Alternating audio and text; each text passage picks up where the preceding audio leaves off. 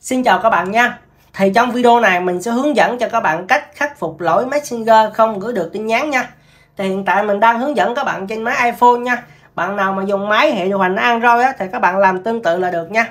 Rồi mình sẽ vào ứng dụng Messenger cho các bạn xem nè. Bây giờ ví dụ như mình à, gửi tin nhắn với cái người bạn đây không được nha. Nó để này không gửi được nè. Rồi bây giờ các bạn quay ra lại các bạn bấm vào cái mục ba gạch chỗ đây nha sau đó các bạn bấm vào cái biểu tượng hình tròn có bánh răng này, ở ngoài này, hình tròn nha, các bạn bấm vào.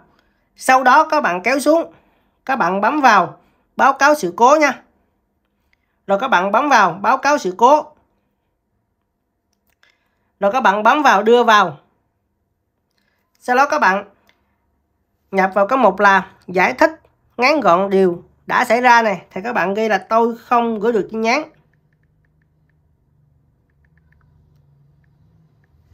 Rồi sau đó các bạn bấm vào chat nha. Rồi bước tiếp theo các bạn bấm vào gửi. Cảm ơn nè, ý kiến đóng góp của bạn sẽ góp phần cải thiện Messenger.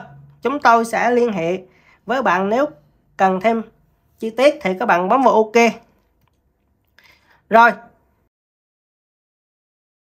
Bước tiếp theo các bạn vào cho mình cái uh, ứng dụng Facebook nha. Rồi sau đó các bạn bấm vào uh, menu này rồi các bạn kéo xuống các bạn bấm vào trợ giúp và hỗ trợ.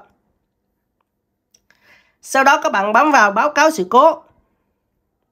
Rồi các bạn bấm vào tiếp tục báo cáo. Sau đó các bạn bấm vào thêm vào báo cáo. Rồi bước này các bạn kéo xuống các bạn tìm tới uh, tin nhắn nha. Đây các bạn bấm vào tin nhắn. Sau đó các bạn bấm vào cái uh, mục đã xảy ra sự cố gì này? Thì các bạn ghi là tôi không thể gửi được tin nhắn. Tôi à, không gửi được tin nhắn đi. Không gửi được tin nhắn.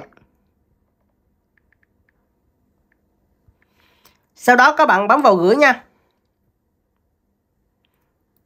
Cảm ơn bạn nè. Ý kiến đóng góp của bạn sẽ góp phần cải thiện Facebook. Rồi bước tiếp theo các bạn vào cho mình cái uh, trình duyệt Chrome nha.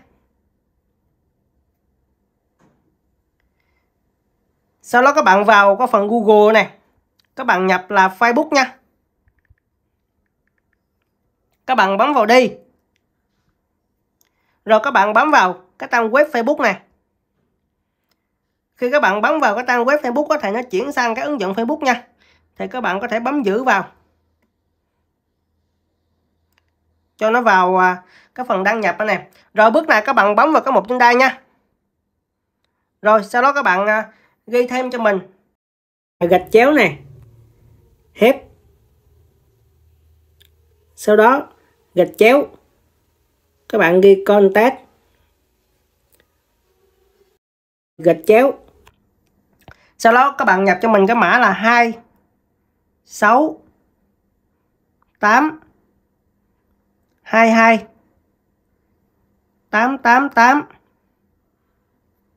32 563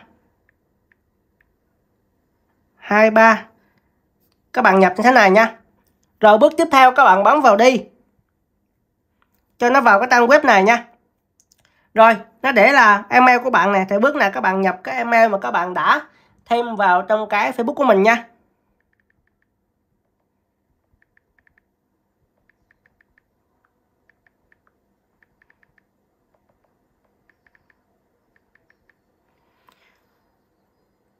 Rồi, cái mục sản phẩm hoặc tính năng này, vui lòng chọn thì các bạn bấm vào. Sau đó các bạn bấm vào Messenger.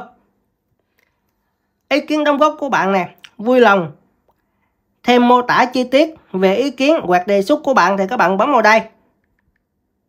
Tôi không gửi được tin nhắn.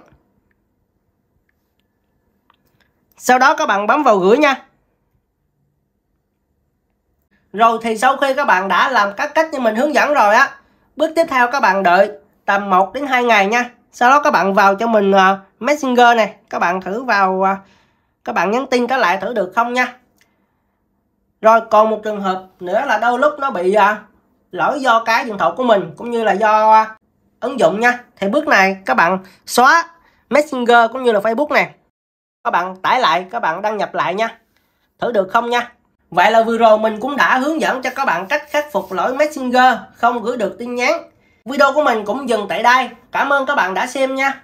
Bạn nào thấy video của mình hay cũng như là hữu ích thì cho mình một like cũng như là một đăng ký kênh nhé. Chúc các bạn khắc phục lỗi messenger không gửi được tin nhắn thành công. Bye bye.